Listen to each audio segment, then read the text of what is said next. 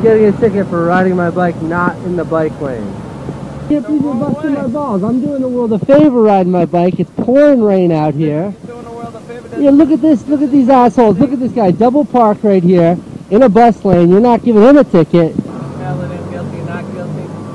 Everything you need. What's the right fine? You're a bicyclist, so it's, it's anywhere um, from ten dollars uh, up to one hundred and thirty, But it's a bicycle summons. A bicycle summons just for not riding in a bicycle lane. You know, Lower.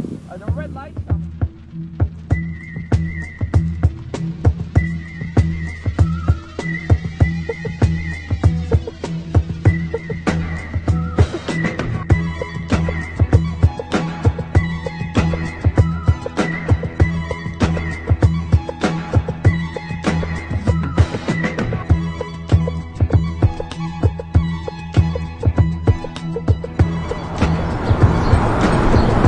So I got a ticket for not riding in the bike lane, but often there are obstructions that keep you from properly riding in the bike lane.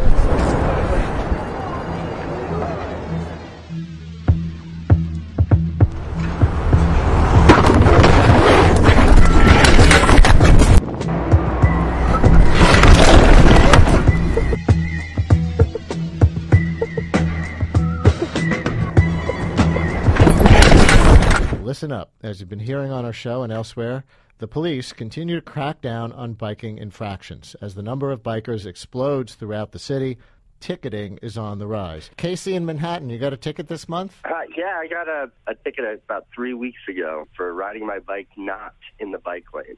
Not in the bike lane.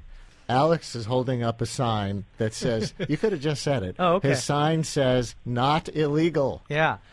I wish I had known that before I paid the fifty dollar ticket. Well, so